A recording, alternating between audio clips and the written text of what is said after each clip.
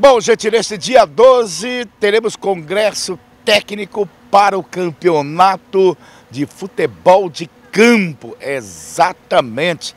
Nós estávamos com saudade do futebol de campo e lógico que os nossos atletas estavam ansiosos também para o começo dessa grande festa. Vem aí futebol. Dia 12, agora a gente é, vai fazer o congresso técnico do nono campeonato municipal é, de futebol.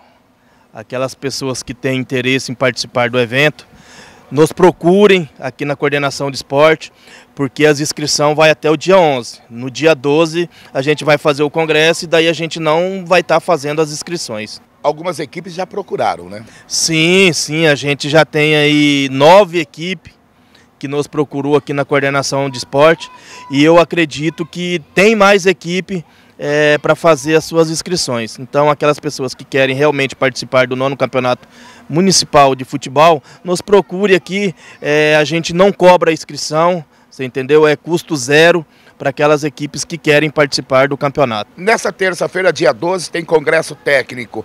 Aí já saberemos aí nesse dia quando começa o campeonato? Exatamente. É, na terça-feira, aqui no congresso técnico, a gente já vai decidir o dia que vai começar o campeonato e, quem, e quais serão os jogos de abertura do campeonato. Lembrando que o congresso técnico é às 19 horas e 15 minutos aqui no ginásio Leonor Dalmaso.